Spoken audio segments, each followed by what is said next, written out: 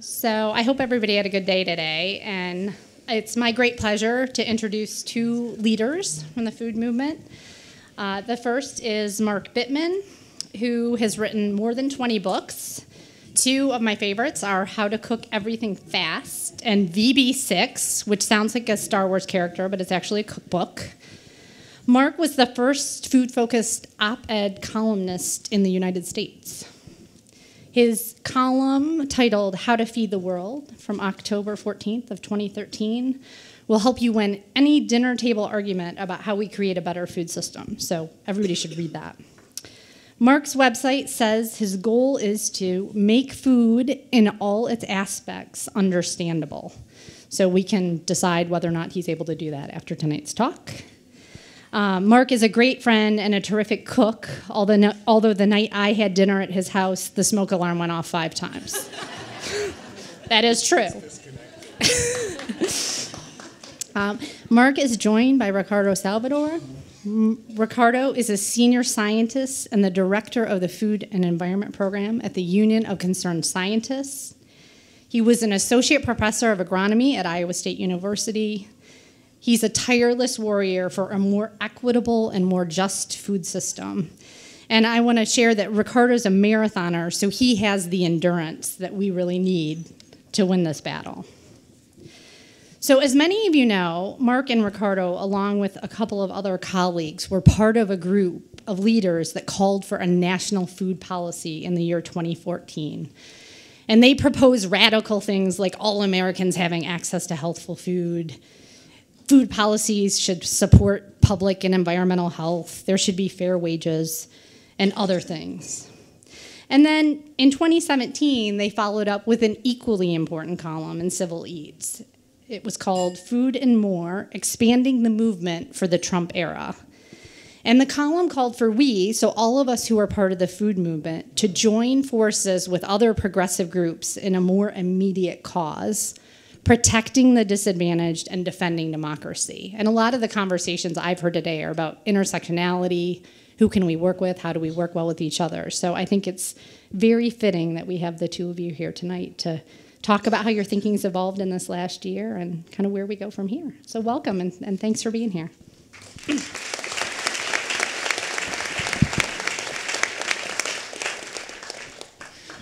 Thank you very much, Jill, and thank all of you for being here.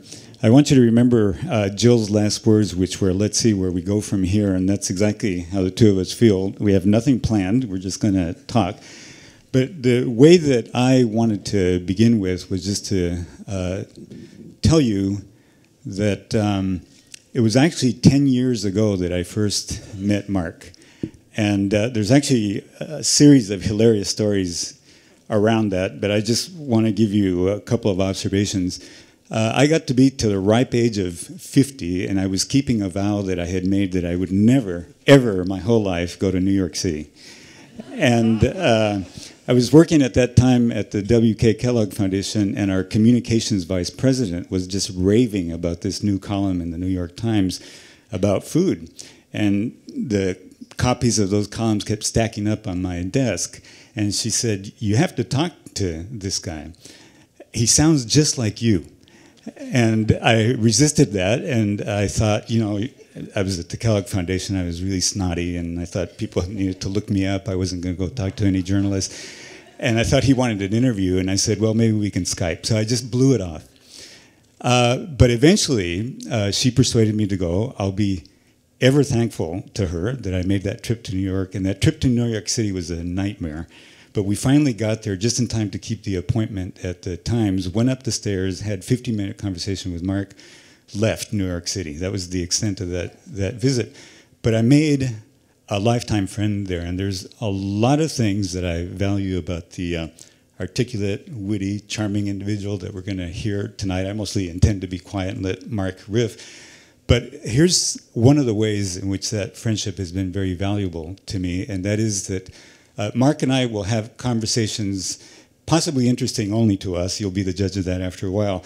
But one of the features of those conversations has really enriched um, my capacity to communicate very complex ideas because I steal some of Mark's articulations that come about in the following way. we'll have a conversation, and Mark will ask a question.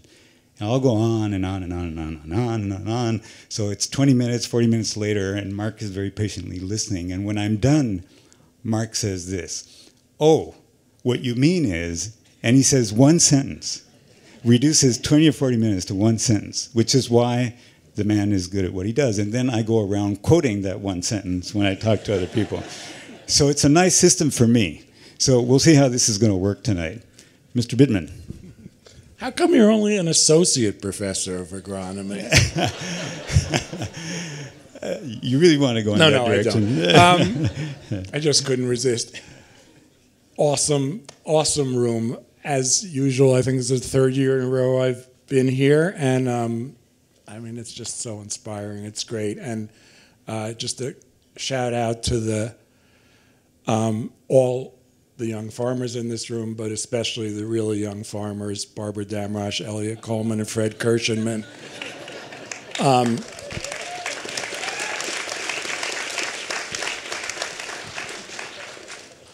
we um,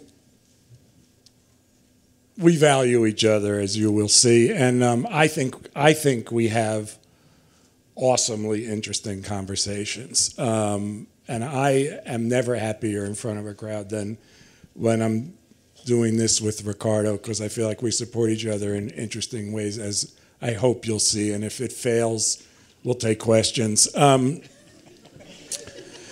but we've done this before, and it's not a comedy routine, but it also is um, probably lighter than, well, both lighter and heavier, but certainly more spontaneous than much of the stuff that you have been doing here. Um, Jill said, I want to know how you've advanced your thinking in the last year. And I said, Why do people think that my thinking advances? Um, but, but Ricardo and I started talking about that, that exact thing earlier today.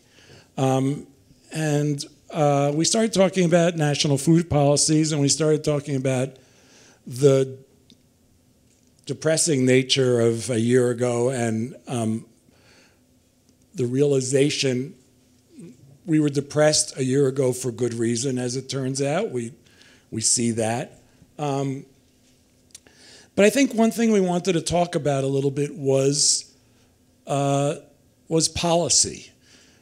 Because um, if we had succeeded, and, and we put, we and our uh, friends Michael and Olivier put many, many hours into this proposal for a national food policy that, in theory at least, appeared before President Obama, or at least his people. Um, and we took it quite seriously, worked really hard on it. We traveled for it. We met with people we didn't really care whether we met with. Um, but suppose that policy had, suppose we had enacted a national food policy in 2009 or 2010 or 2011, it wouldn't be worth anything right now. Um, it would be worth a faint memory.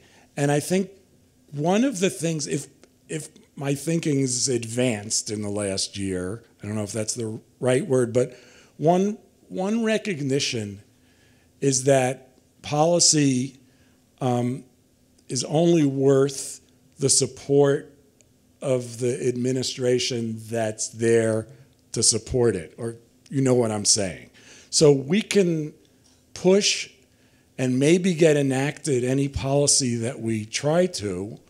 Um, but as we've seen, as we see every day right now, these policies are not worth anything if they don't have the support of the current administration. Um, so this kind of brings us to the importance of, as Jill said, intersectionality, intersectionality. As I like to say, as we used to say in SDS, everything is interrelated. Um, and the importance of obviously groups like the one in this room.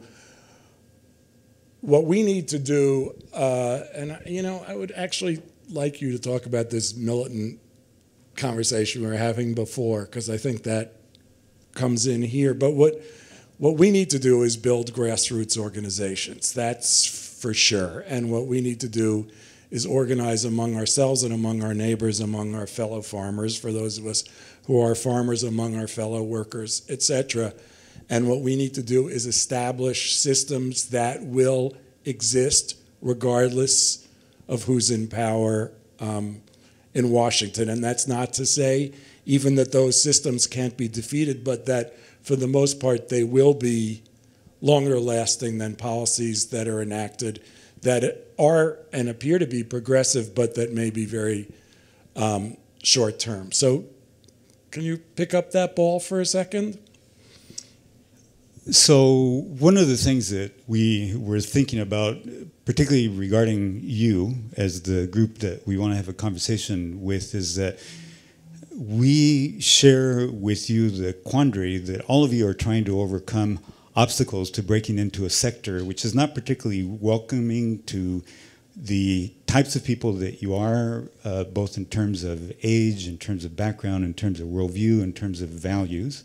And if that assumption is true, we also are arguing for a completely uh, groundbreaking redefinition of what the human activity of agriculture is. So we we, we're operating on the assumption that we're trying to completely break a paradigm about agriculture and that you, you share that objective. And it's in that sense that these two things that Mark has just mentioned became relevant to us. What kinds of changes can you institute at the level of policy that can be long lasting, given the lesson that we're all learning at the moment that things can be reversed willy nilly? Um, what can be more long lasting in terms of structure and in terms of permanence.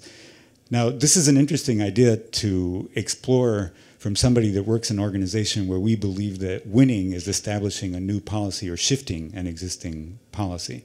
And I want to come back and talk about that. But the second thing that Mark mentioned is that it seems to us like an ingredient to be able to do what I just described, to uh, pursue, institute, and preserve lasting change, completely different structures and worldviews, this has to include maintaining a posture, a stance among all of us uh, as citizenry, and particularly those of us that have a view about how things actually need to evolve and change for the better.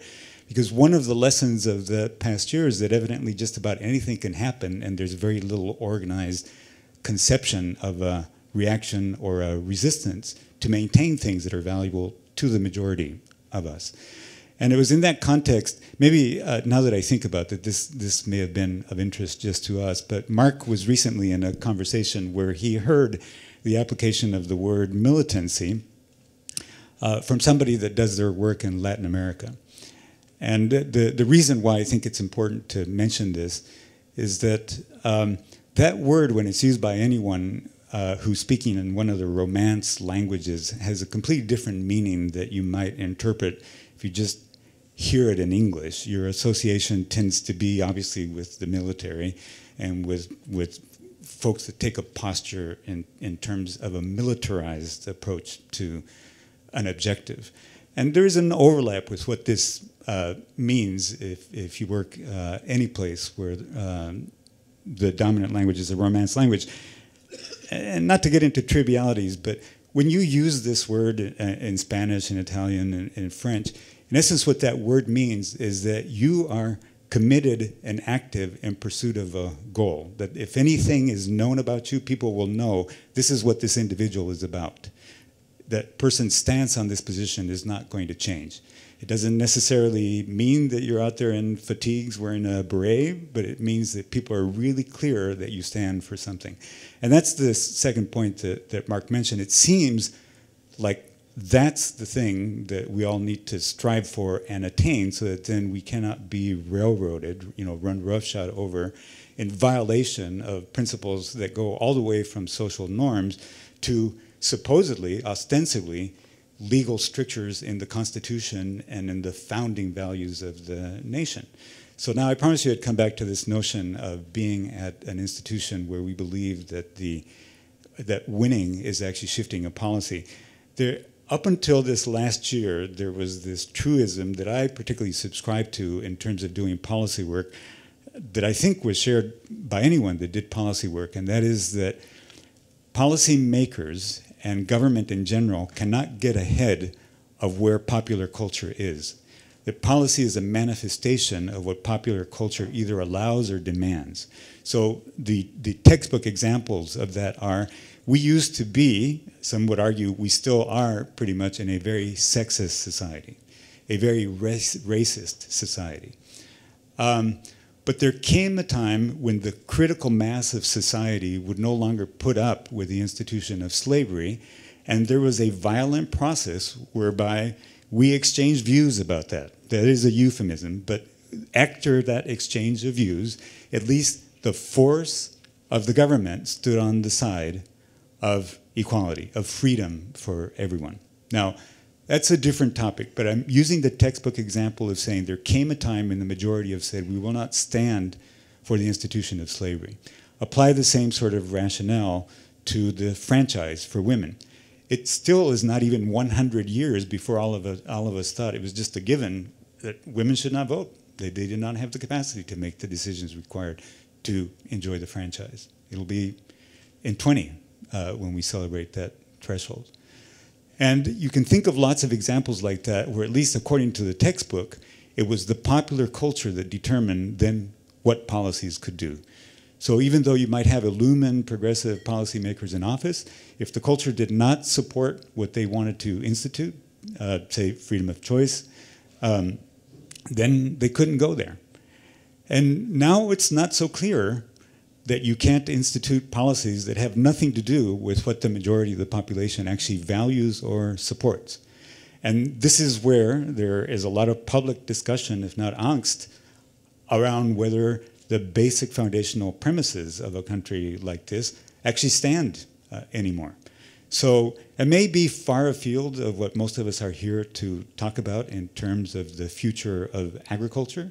But for those of you of us that were here uh, this afternoon over lunch, you'll be familiar with the argument that a group of us made that the worldview of agroecology and a different conception of what we're performing when we do agriculture is actually rooted in self-determination. A completely different view of the parceled out, commoditized, monetized view that is just going to bankrupt us collectively. Right. Um, okay, we're done. I can't sum that up in one sentence. Um, to pick up on two things. Um, one is that I think if we if we take the word militant, militante, to mean lifelong activist, then we need to be militants. That's one thing. So what do we need to be militant about? And I think if we go back to um, conveniently, we go back to the mid to late 19th century, we see um, we see a country in which land was distributed unequally. Um, and we see a country in which land was distributed or grabbed um, almost entirely by white men. Um, and now there are all of these issues, and, and that, that po the policies that have supported ownership of land by white men began 100, 150 years before, say, the Civil War, and have extended until now. Now we hear um, a great deal of talk about aging farmers and what we're going to do to keep people on the land in the United States and so on and so forth. But um, to a large extent, it is a question of how to get land into the hands of people who want to work on it. And what I know everyone in this room believes is that the people who want to work on on land ought to be people who want to grow real food. So um, we're at a turning point, and we're not only at a turning point because farmers are aging, although that's a common discussion, we're at a turning point because it's extremely important right now, and I know we all agree on this too, that people grow and eat real food. Um, but we have a system of policies, and in fact, we have a global system that encourages uh, large farms that grow predominantly not real food or not food at all. Um, and the question is how to make that transition. And the answer to that question is a dirty word or a dirty two words, and those dirty two words are land reform. And um, no one discusses land reform because as soon as you discuss land reform, you're a communist. But actually, you're not a communist, you're a militant, you're a lifelong activist. You're someone who wants to put land into the hands of people who deserve it and will do right by it.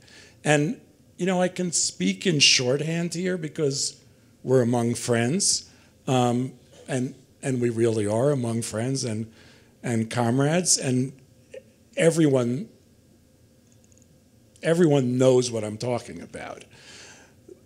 But the question is, how are we going to get to a place where th this land, and of course some of the best land in the world, best farmland in the world, is held by um, descendants of white men who were largely still white men um, who were given it or took it in the 19th century. Um, how are we going to get that land, which is often parceled into properties that um, really can't be farmed other than by machine, um, and it's developed that way. How do we transition that land into the hands of um, y'all, as we say, um, and other people who want to farm it? And the answer to that question is land reform.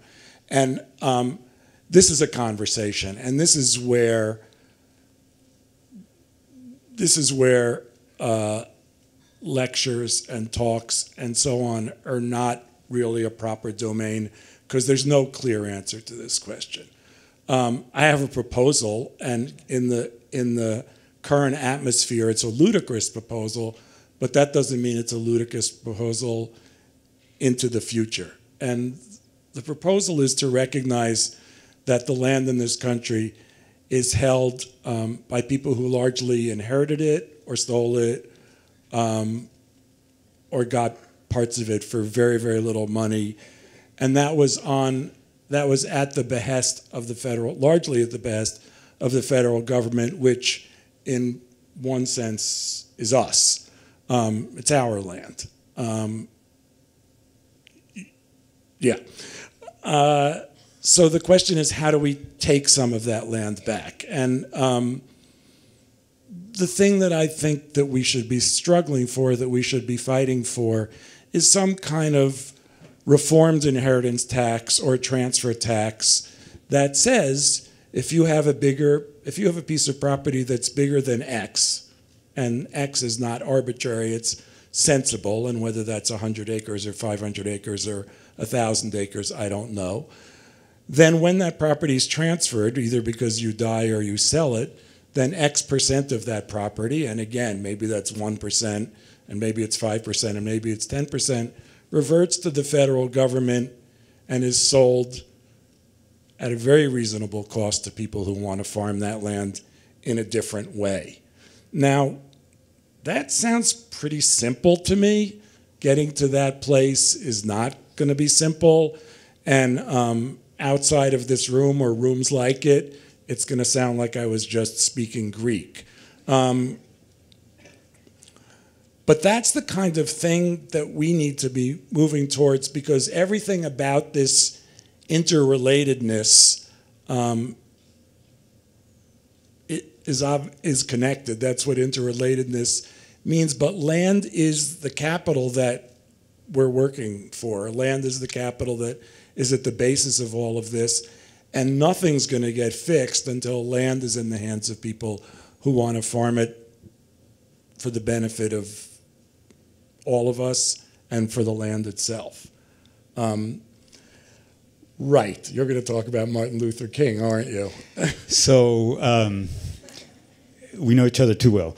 So um, if, if these ideas sound ridiculous, the, the thing to remember is that um, the majority of the land that Mark was referring to, the breadbasket in the United States and, and the large proportion of the most agriculturally productive areas in the United States right now were acquired because somebody across the ocean who signed documents, I the king, by the doctrine of discovery, decided that land that they had never known or knew anything about could be allocated by their will and proceeded to do so by force. Uh, or that once this country was no longer made up of colonies and had become independent, by military force, there was concerted genocide, displacement, and removal of peoples to come to possess land. And then redistribution occurred. So if an idea like the one that Mark describes sounds ridiculous, it's actually a very benign, progressive idea compared to how most of the land actually came to be in possession of who it is in possession now. Now, before we go forward, as Mark has said several different times, we know you're friends, we know that you've thought about these ideas. Sometimes talking about these things without mincing words is difficult, and it's, I, I have learned that it is important before getting into remedies for these structural inequalities um, to, to point out that for all of us to be non defensive and to be open minded about these topics, we should be really clear that our forebears did what they did, and we can't do anything about what they did. But we can do something about the society that we want to be a part of and that we want to create for the future. So there's no need to be defensive about who we are, what we have right now, because of what happened before us. We do need to recognize it. We do need to be aware that we're part of a real life game of serpents and ladders that describes why some of us are where we are and others are not. So that is an important part. But it's just as important to get over the defensiveness of that and talk about how we build the society that we want for the future. And the society that we have right now, it's very important to recognize, uh, particularly when the sorts of things that we're considering here and that many of us are talking about right now, which is uh, reparations, uh, redistribution. Um, when, when people talk about that as being uh, extreme, or react to those notions as being extreme ideas and uh, a manifestation of victim thinking and how we all need to actually um, be entrepreneurial and and lift ourselves by our bootstraps like everyone else did that has wealth and that has privilege now. I am reminded of a passage that I'm, I'm going to read to you here that uh, probably in this room many of you are familiar with from Martin Luther King. Uh, you can look this up on video to receive the real power. There's no way that any of us can replicate the man's power. Um, but he spoke these words just a few months before he was assassinated. But what he's going to be describing is what many sociologists have called the reality of how we came to have the present structure of society, which was, in essence, affirmative action for white people, which is why I wanted to be really clear with that prefatory comment. Let's not be defensive about that, just recognize how we got to where we are right now and what we want to do about it from now into the future. So, this was spoken by Dr. King in March 1968. At the very same time that America refused to give the Negro any land through an act of Congress, our government was giving away millions of acres of land in the West and Midwest which means they were willing to undergird its white peasants from Europe an economic floor. But not only did they give the land, they built land grant colleges with government money to teach them how to farm. And not only that, they provided county agents to further their expertise in farming. Not only that, they provided low interest rates in order that they could mechanize their farms. Not only that, Today, many of these people are receiving millions of dollars in federal subsidies not to farm. And they are the very people telling the black man that he ought to lift himself up by his own bootstraps. So that's the kind of pragmatic reality and understanding of history upon which we need to found a sober reassessment of what we need to undo in order to really live the premises that the majority of us believe describe the kind of country and society that we want to be a part of. Just quoting somebody else's eloquence and clear view of the situation.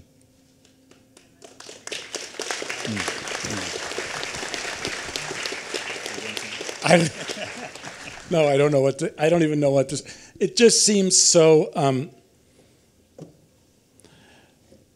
to return to the militant theme, you know, when uh, un, until this conversation about about militants um, came up, when someone said, "Oh yeah, we're militant," I thought of Che Guevara. But the pers- the people to think of when you say we're militant are Gandhi and King, um, and a host of others, maybe even including us. Um, Rosa Parks.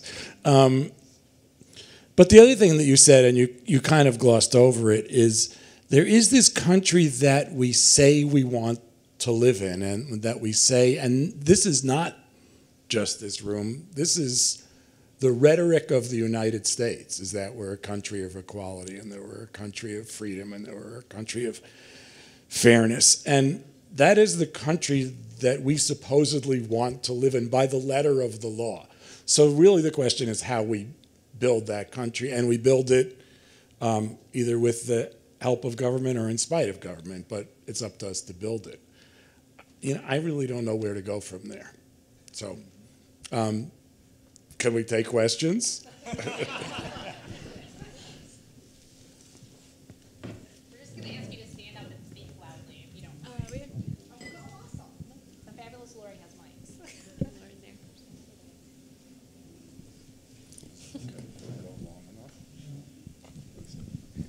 Hi, my name's Adrian.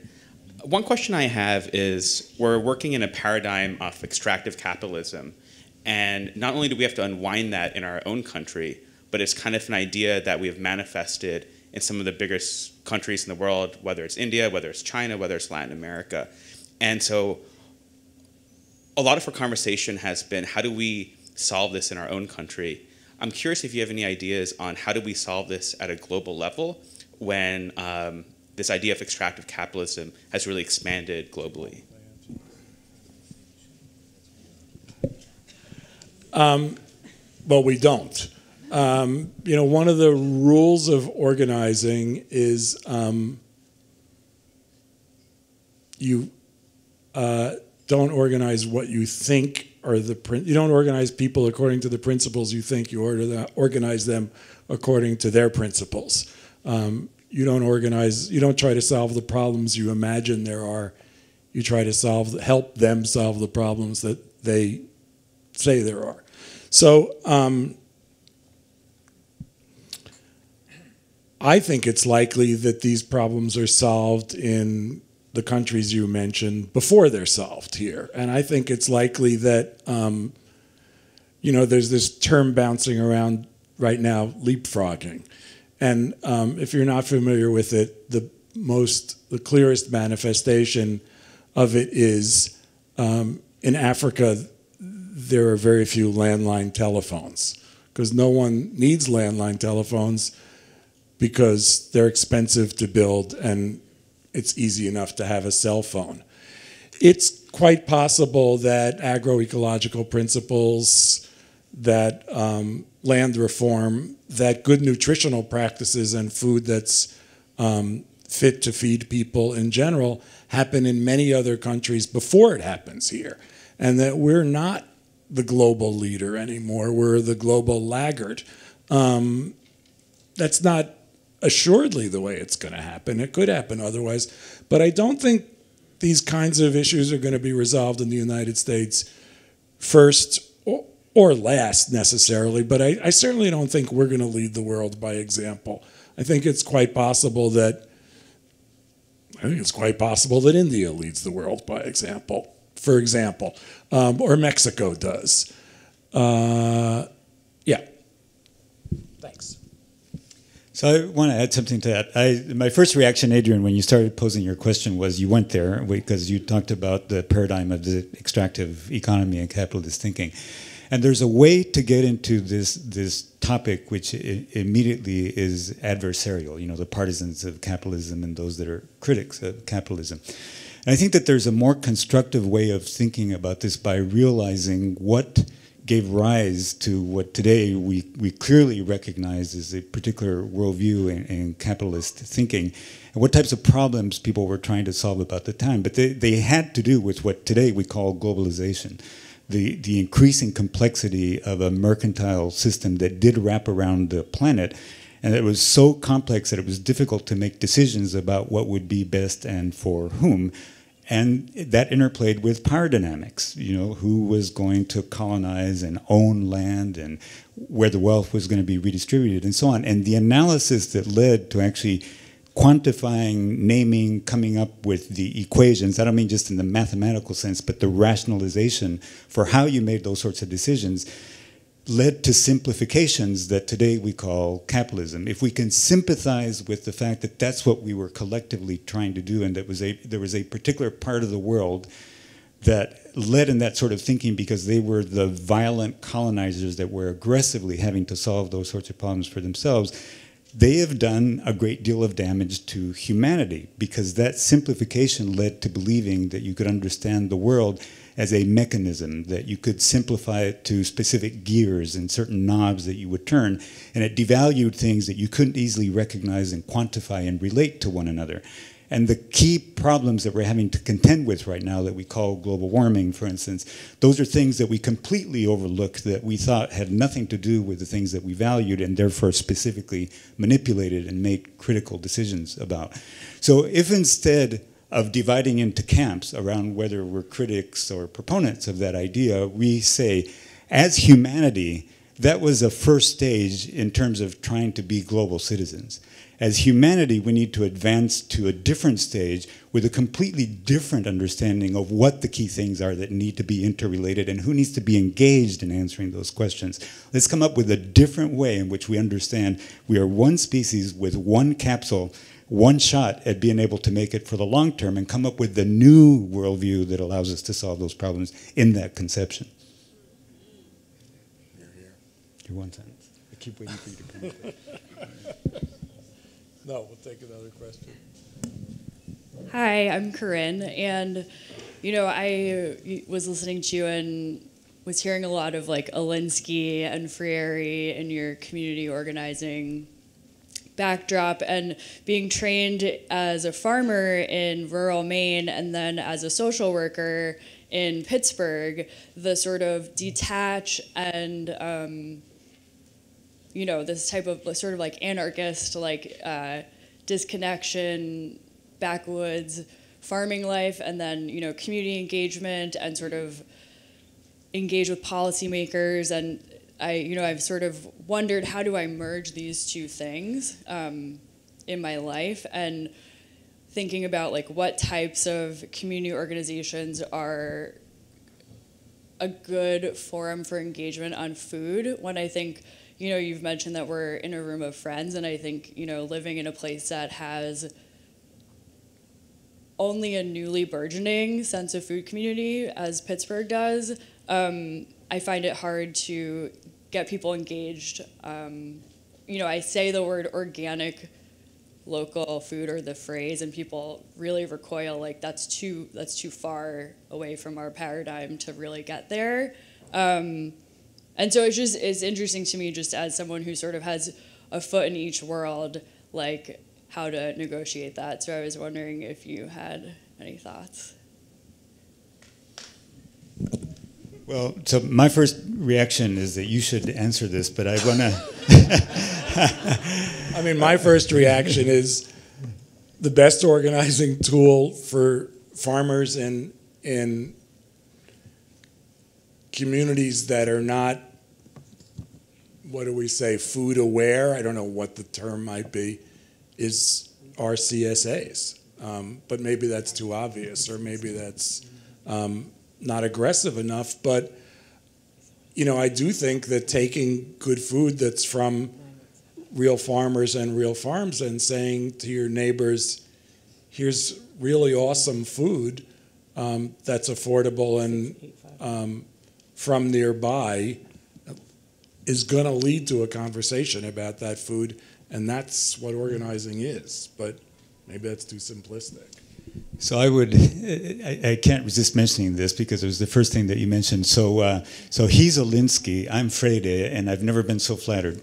So, uh, but uh, so therefore, you know, speaking along a fair line. Um, I, I agree with what Mark has just said, and, and this is how I conceptualize it. I want to give you an example that comes from the United States. There's many of examples from outside of the United States. Um, uh, uh, all of every single one of you in this room are familiar with the Coalition of the Immokalee Workers. The example that I want to draw from is how they came up with what uh, is now called the Fair Food Program. Uh, the issue that they were dealing with was the exploitation, and as many of you know, actual enslavement, not metaphorical or figurative enslavement, actually binding people in chains so that they would come back to work the next day in central and southern Florida for the tomato harvest. The critical issue that they were dealing with was that there were very concrete ways in which this manifested in their work. It manifested in the fact that they were not being given fair wages for their work and the fact that they were being uh, exploited because there was wage theft, even when supposedly they were being paid for work that they had been done. Uh, for women working in the field, they were continuously subjected to harassment and sexual violence. Uh, there was lack of certainty that they could be employed from one season to another, and so on. Serious fundamental problems that the majority of outside observers might have said this group of disempowered, disenfranchised, marginalized, poor farm workers are never going to be able to solve this kind of exploitation. And in a matter of a few years, they were able to come up with a dramatically successful model for how to overcome that and make things better for themselves, not by going to specialists or academics, um, and maybe the majority of them not even having ever heard the name of Freire, but doing something very Freirean, which is that they basically began to have conversations among themselves where they articulated what was wrong with the system that they were a part of and what would make it better, and then starting working toward that and asking really sharp questions about what was reinforcing the system that was victimizing them and how they could counter that. And it's a very interesting story. Actually, some of the members of CIW have been in this very room talking about that model in the past. I, will just give you one or two examples of what they came up with that made a crucial difference. So one of the things that they realized was that one of the facile reactions to who was victimizing them was to say it's the farmers because the farmers were their first point of contact. Those were the people that were either paying them fair wages or not. But they soon realized that actually the farmers shared more in common with them than not. That it wasn't within the economy of the farmers that they were working with to give them better wages, that those folks were barely making it, and so they had to go further up the literal food chain to figure out where the thinness of the margins was actually coming from and then attack it at that level. So what they did was to figure out, well, this is all happening at the level of the very largest purchasers that are not looking at what it costs to provide a fair value chain. They're just decreeing from the very top what they're willing to pay and then squeezing the value chain. And then, you know, this is a, a group of just a few dozen people doing this thinking. Then they had to ask, how can we possibly threaten that system, these large, powerful, global mega corporations? And as many of you know who know the story, the answer that they eventually come to was to, was to conclude the single greatest vulnerability those corporations had was their public image. If they attacked their public image, it made it clear to their buyers that they were actually profiting from exploiting people, from sexual violence, from wage theft, that that would be the most harmful thing that they could do to those companies. And these were companies like Burger King, McDonald's, and so on. And that strategy worked. And it worked because they organized folks to travel up and down the East Coast to go to the headquarters of these corporations, stand in front of the restaurants, stand in front of the corporations, and to say to clients coming in for a burger and fries, do you know that when you're buying these fries, you're supporting slavery, wage theft, exploitation? None of those companies could stand that for very long. And the model that they asked for them to put in place to make it better was actually something that was relatively simple in terms of a remedy because of the scale of the system, and you know it popularly as the penny per pound program. So if as little as one more penny per pound of harvested tomato, together with an auditing system to verify that uh, uh, details about how farmers could be exploited in terms of what you counted that they had harvested when they delivered it to the uh, trucks in the field, together with an auditing system to verify that everyone was being treated fairly. Something as simple and as logical as that as defined and executed by farm workers out of their own lived experience and their own creativity and entrepreneurship, that solves that particular problem. So coming back to your initial question, think about it among yourselves, your peers, and ask those root questions and then say, how can we leverage the things that are victimizing, pressuring us, and causing our problems, and be creative about doing it yourself. That's the lesson that I gather from that.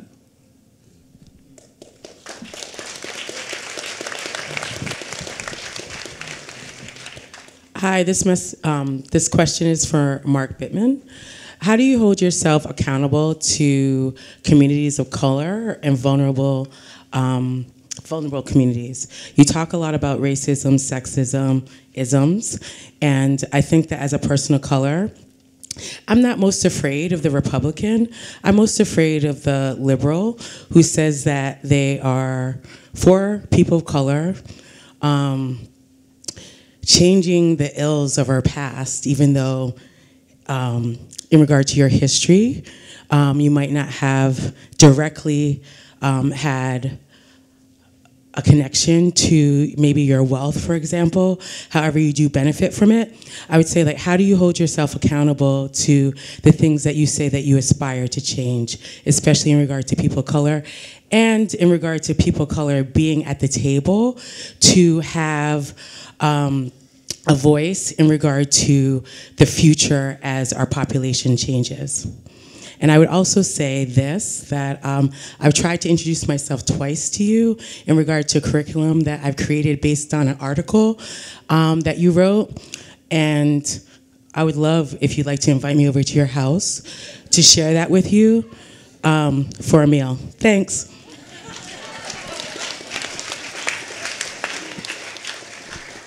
Okay, well, fair enough.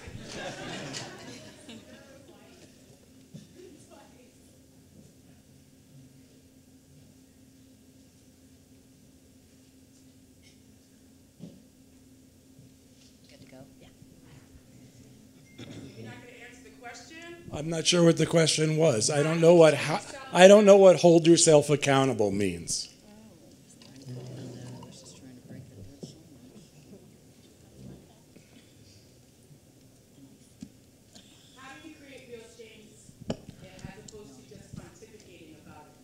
Don't think I pontificate, and I swear I've spent my life trying to create real change.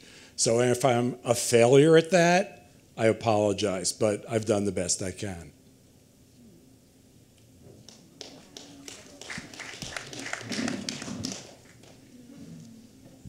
Great. I love to follow that. so, I'm Lisa. This is the Young Farmers Conference. Thanks for having me. I don't know how I got in, but I'm still a beginner farmer, less than 10 years. And I just want to remind everybody in this room I do currently own my own farm, barely, and that's a whole story. For all the young farmers in here, just walk your talk. You have a lot of years of learning, you have a lot of years of life, and this is not all on you. Okay? You just decide what you're passionate about. You're, we're all here, first of all. We're all privileged to be here. Let's all take a moment and realize that. And then just do what you love to do. If it's farming, if it's policy, but choose something. We in this room are not responsible to fix all these problems. And, and a little bit, I'm feeling that tonight. It's a little bit, I'm feeling a little down in the whole vibe in here. And not because of just this last interaction, but the whole, and not to dig either one of you, because I've heard both of you speak before, and you're amazing, and what you guys do is good work. But pat yourselves on the back for doing what you do and just keep doing it. That's where I'm at in my life. And if you're passionate about it and you love what you do and you believe in what you do, then just do it. And be glad you're here right now and stay on the positive side. Positive side. Oh, Peggy has something.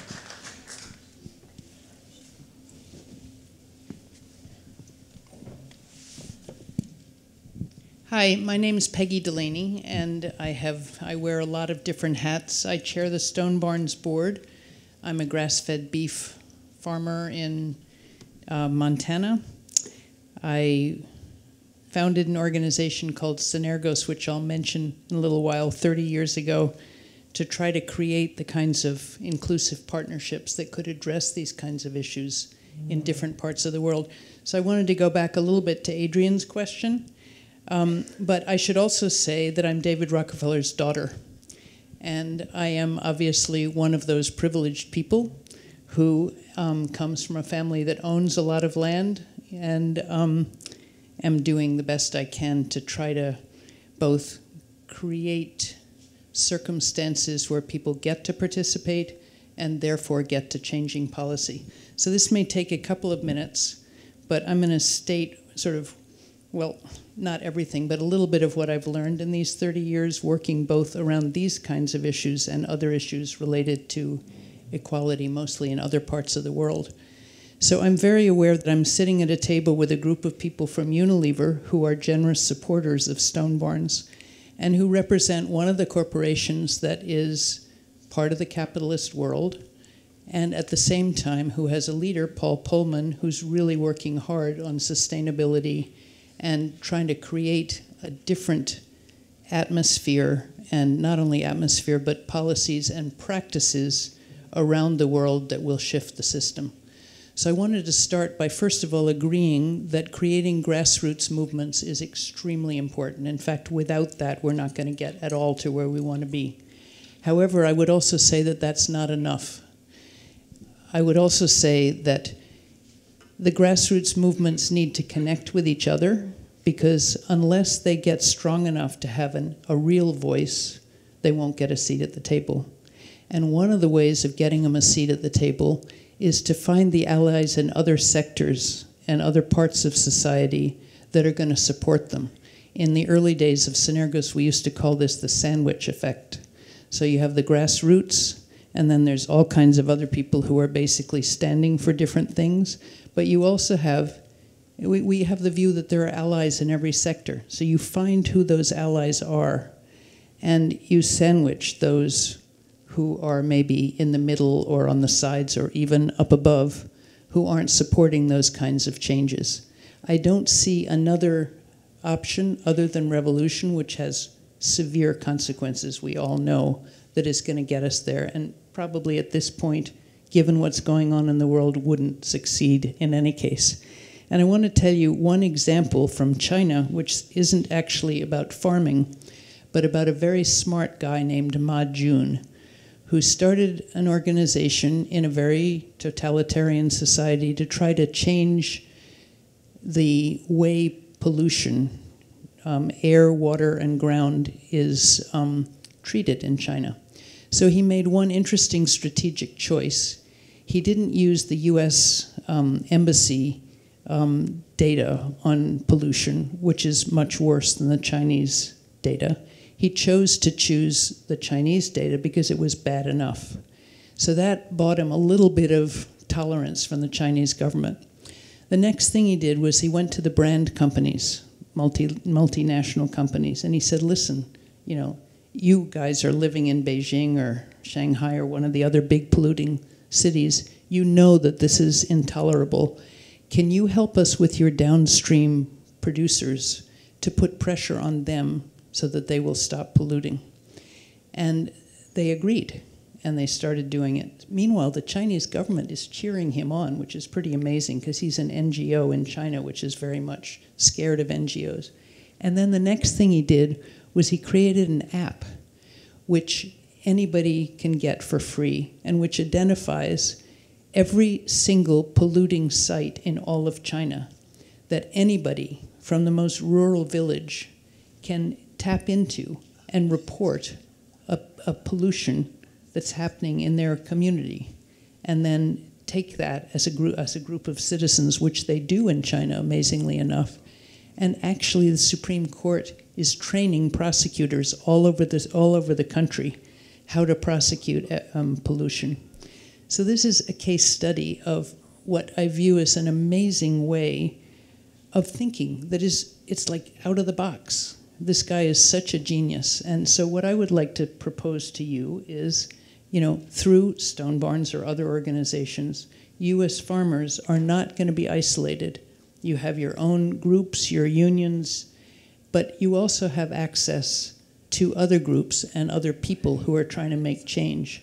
So, definitely focus on the grassroots and on what you're doing, but at the same time, keep an open mind to who else you could connect to and how, as a group, and an expanding group, because the more you do band together, the more power you yourselves will have, you could find the allies in other sectors so that regardless of what the administration is, eventually those policies will change.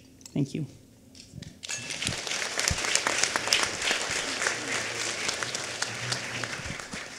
Thank you. Oh, Barbara. Well, I too would like to say something encouraging. First of all, I suggest you find an essay by a guy named Jonathan Latham, and that's L A T H A M, as opposed to Jonathan Lethem, the novelist, who's also great. But it's called Why the Food Movement is Unstoppable. I'm not sure whether it's actually been published in a publication, but I think you can Google it or find it on his website. But what he says basically is that it's a, uh, for most people, it's not a movement of ideology or class or anything. It's something we all as human beings can relate to. But I want you, in case you're skeptical about that and discouraged, I want to give you a little example of what's happened in Maine, where I farm. There was something that arose called the local food ordinance movement, and some what 14, 20 towns passed resolutions that any farmer or any gardener could sell to their neighbors without any government interference. And we, we have a very red blue kind of polarization in Maine, as I suppose a lot of states do.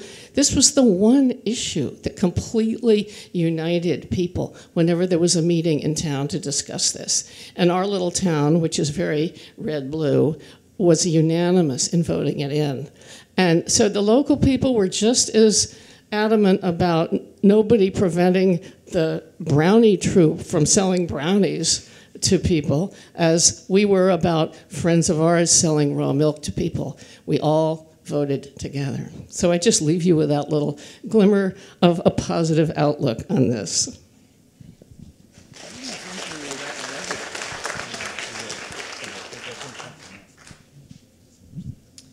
Thank you. I just want to go back to what some may have felt was an uncomfortable moment.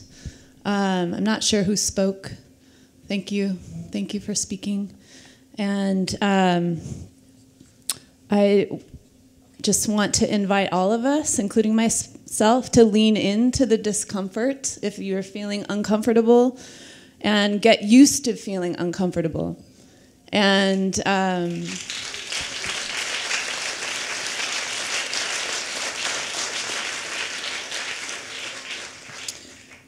I think if we're going to create revolutionary change, that it, that is where we have to begin, and um, I think that is where positivity lies, also.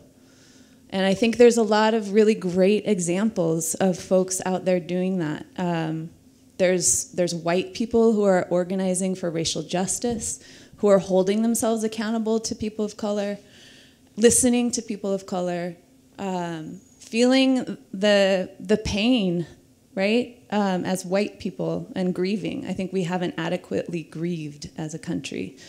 Um, so I just want to invite that in. Mark, you do tremendous work, and um, and it like felt like there's a little, you know, some some silence or some defensiveness, and um, which I've also felt as a white person. Um, but to just once again just invite the the discomfort in. Maybe there's not a response right away but maybe there can be more listening. Um, and from that something will arise.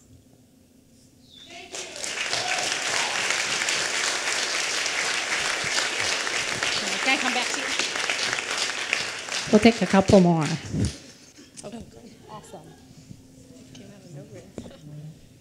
Good evening. My name is Seek. Um, I'm a black lesbian. I do not have a question. I just want to let black people know that your dismissal was hurtful.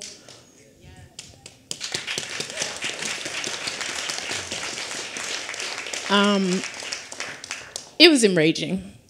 And I'll you, Orlando. Um, this room is over some percentage of white. Land reform not the business. The Rothschilds owe, Native people this land back. Um, I'm here as a product of years of um, breeding, you know. So I just want to say to the black people in the room, especially just because I can, I'm black, um, but also people of color, if y'all need me, I'm here this week. So um, please, hugs, handshakes, daps, whatever you need, because this shit is exhausting, um, and we're not all friends. Y'all don't listen to us.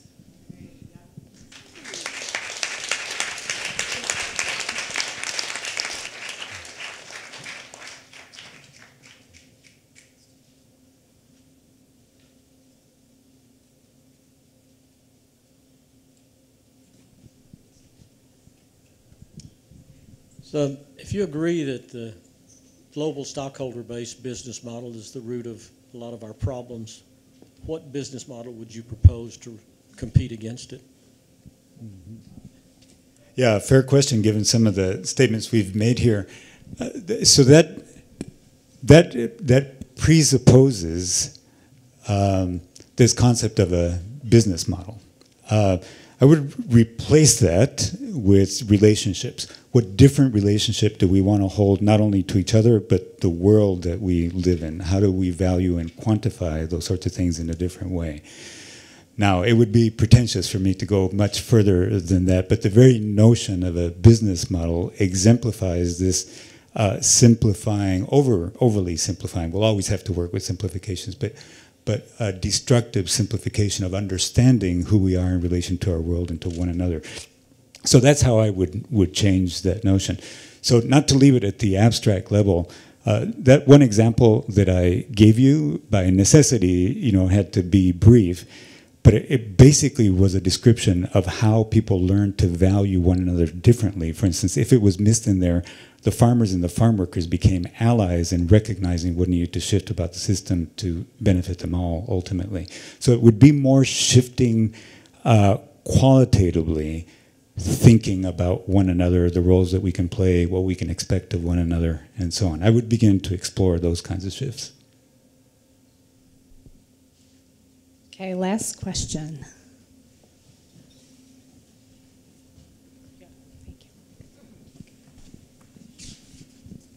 Hi, um, I'm Sarah. I'm from South Carolina, and I have a small urban farm, a few plots.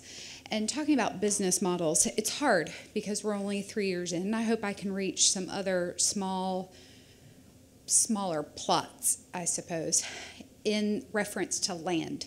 So we're in this booming new town. Greenville's growing exponentially. We've had land thrown at us, strangely enough. We have people with money that want to grab these little plots of land before they get taken over. And they're like, hey, we'll give you this land for free. Um, grow stuff um, and they essentially tell us, you know, then restaurants get behind them, and then fancy restaurants get behind them. Chefs get behind all of us, and they say, grow this, grow this, grow this. Um, we, it's strange. I thought I was going to have to fight for it, and instead I'm doing what I'm told. And it's, I don't know if I like it. Um, the landowner expects a free CSA. Um, and will show up to the farmer's market and say, Oh, can I get a bunch of carrots? And it almost degrades a little bit. I don't know if anybody else has this experience because we're so new. We're just doe eyed and ready to be like, Yes, yeah, and please. Um, but we have found ourselves in a little bit of a predicament. So I'm not so sure what our next step may be to kind of grasp. We don't make enough to own and buy land yet, to have our own. Um, we have a house that we bought, which is out of the urban farm. Out of town, so we have that to do. But and that's wonderful. But it's just a little bit hard to get our name in without kind of feeling like we're having to, again, do as we're told. So um, just kind of curious if you have any advice as to how to get ourselves doing what we want to do. I don't. Well, uh, you know, I, so I'm not going to be able to address your question directly because I actually think that the wisdom on that actually came from you know one of our colleagues in the room who spoke earlier, which was to say each one of us, my rephrasing, each one of us in our own little corner, and the circumstances in which we find ourselves need to contribute to shifting the kind of world that we're in now to make it the kind of world that we want to be in. And, and I also want to mention a couple of things uh, about the process here this evening. I, I like the fact that what I consider to be uh, one of the wisest things I've heard tonight actually came out of the group in reaction to the conversation here or observation of the conversation and the flow, because it does mitigate against something that I think is not helpful, you know, which is the structure of two wise people instructing everybody else when in fact we're all in the same conversation. And you remember when we started, I mentioned when we were thinking about this, we thought about the fact we're all in the same boat. We're trying to figure out how to overcome what is against what appear to be insurmountable structural barriers. And so we have that in common. And the other thing about the, the process, which I love, you know, I've been coming to uh, Stone Barns for a few years now for several different conferences. I, I, think some of you, from what I understand, may also be here several times, maybe for this uh, conference or other conferences. I have to tell you, um, the, the kind of freedom to be honest and the kind of freedom not to mince words and talk about the real issues that has not been the typical Stone, Barns, Stone Barns conversation. Stuff is happening here, things are changing. The quality and the honesty of the conversation is being elevated. it, it is due to all of you, but also to the hosts at Stone Barns welcoming that. And you know the the key ingredient, as we've seen tonight, is who's in the room and feels free to say the things that are on their mind. So I want to encourage all of you to continue doing that, of course, but also recognize that Stone Barns is giving us the space to do that and that they're growing and learning and expanding as well, together with the rest of us. So thanks to all of you here.